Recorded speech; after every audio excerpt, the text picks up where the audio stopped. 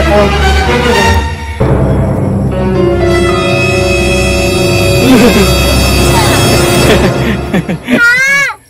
Seram. Lo ni sigok mo. Lo.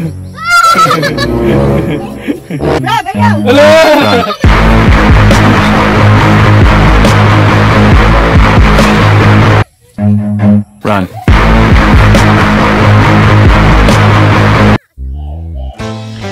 Madaling alagaan ang baka.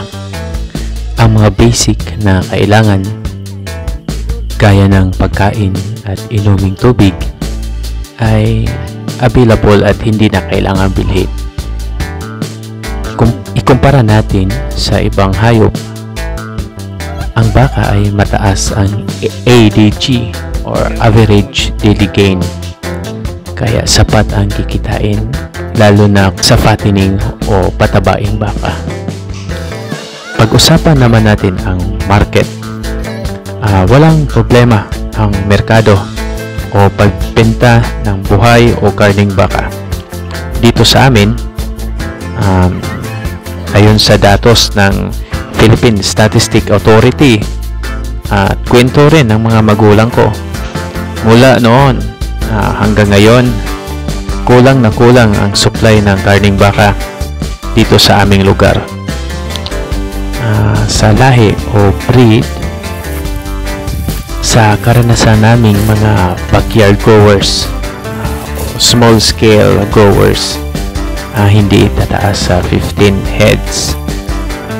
Ah, angkop sa lugar namin ang native, Philippine native cattle at Brahman na breed o di kaya cross ng native at Brahman. Um, matibay ito sa sakit at tolerant sa mga kagat ng mga insekto. Walang problema sa tag-ulan at tag-init.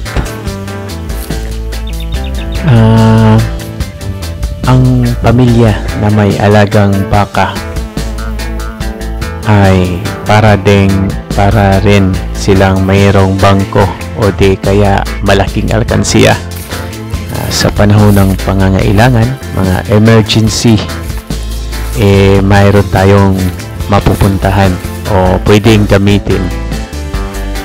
Um, gaya naming magkakapatid, lima kami na nag-abot sa apat yung nag-abot sa college um, sa tulong ng pag-aalaga ng baka ng aming mga magulang ay nakatapos ah, sa pag-aaral. Ah, maraming mga pamilyang Pilipino na ang kanilang mga anak ay nakatapos sa pag-aaral sa kolehiyo. Nakagraduate ng kurso sa tulong ng baka. Ah, sa mga may balak o gustong mag-upscale ng kanilang bakahan, ah, pwede tayong sumangguni sa National Dairy Authority ah, ng Department of Agriculture. Ah, sa amin, mayroong Ubay Stock Farm at ah, Office of the Provincial Veterinarian. Ah, maraming salamat po at be blessed.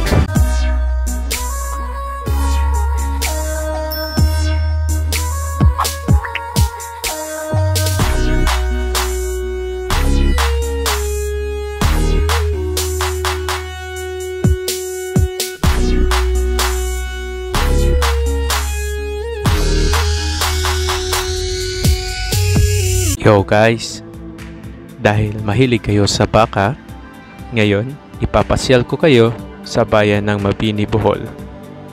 Ang bayan na ito ay nasa silangang bahagi ng probinsya. Mula sa Tagbilaran City, isandaan at apat na kilometro ang pepiahiin. May dalawang dalawat kalahating oras ang biyahe mula sa syudad patungo sa bayan na ito. Isa itong fourth class municipality na may 30,587 populasyon ng tao. Ang Mabini ay may yamang bukid at mayamang dagat. At meron ding magandang white sand beach na dinadayo ng maraming mga bisita at mga turista foreign man at mga lokal. At ngayon, bibisitahin natin ang barangay San Isidro Mabini kasi napabalitaan natin na may pagtitipon ng mga baka at kalabaw. Ayon sa Mabini Municipal Agricultural Profile, 66% na nakatira sa Mabini ay mga magsasaka at 15% din naman ay mga mangingisda. Isa itong coastal municipality. Ah, meron din siyang malawak na sakahan.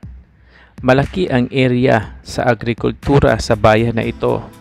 Nasa 71% ng total area o nasa 7,474 hectares ang kaniyang lupain na sinasaka ng mga mamamayan ng Mabini.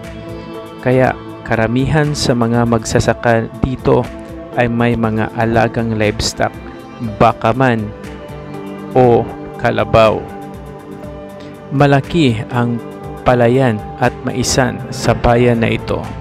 Maliban dito, hitik sila sa puno ng mga niyog. Sa bilang naman ng mga baka at kalabaw, ang bayan ng Mabini ay nasa kab- kabilang po ito sa top seed municipalities ng Bohol. Aktibo ang joint forces ng mga ahensya Department of Agriculture Region 7, National Dairy Authority, Philippine Carabao Center at Office of the Provincial Veterinarian sa Provincial Government ng Bohol. Sa isang taon, may ilang bisis ang mga ahensyang ito na magtipon-tipon at nag-iikot sa mga bayan ng Bohol gaya ng Mabini para sa livestock programs.